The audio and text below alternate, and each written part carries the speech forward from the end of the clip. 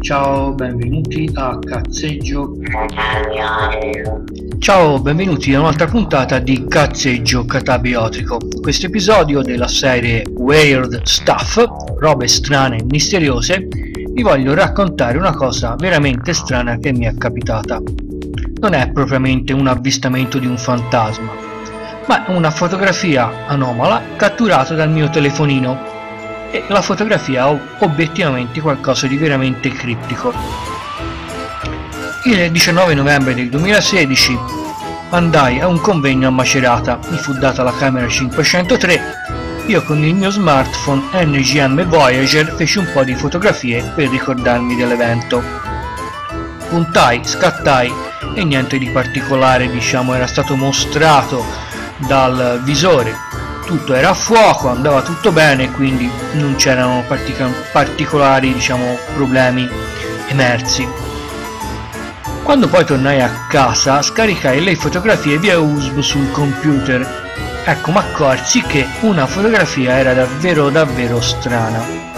Quella che vedete a video. La fotografia è obiettivamente sfocata come se un'ombra fosse passata davanti. La cosa strana è che mi ricordo che quando puntai lo smartphone niente di strano era stato mostrato dal visore.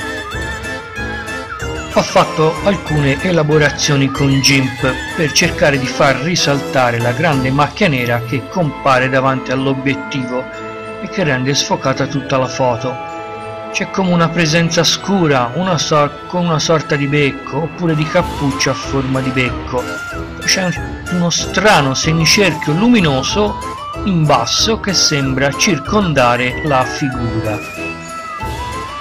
La figura sembra avere una sorta di becco come indossasse un saio e sembra quasi come se fosse una mano che indicasse sulla sua sinistra Ora, a vedere bene la zona di luce che sta in alto a destra, c'è una serie di rigature, quasi come fossero delle scale, un portale, quasi come una gradinata di un portale dimensionale. Forse è morto qualcuno in quella stanza d'albergo? Oppure la mobilia non è nuova e proviene da un'asta da una casa fantasmatica? Un fantasma in un albergo è proprio un classico dei classici. Io non ne ho davvero idea di cosa sia questa roba qua che vedete a video.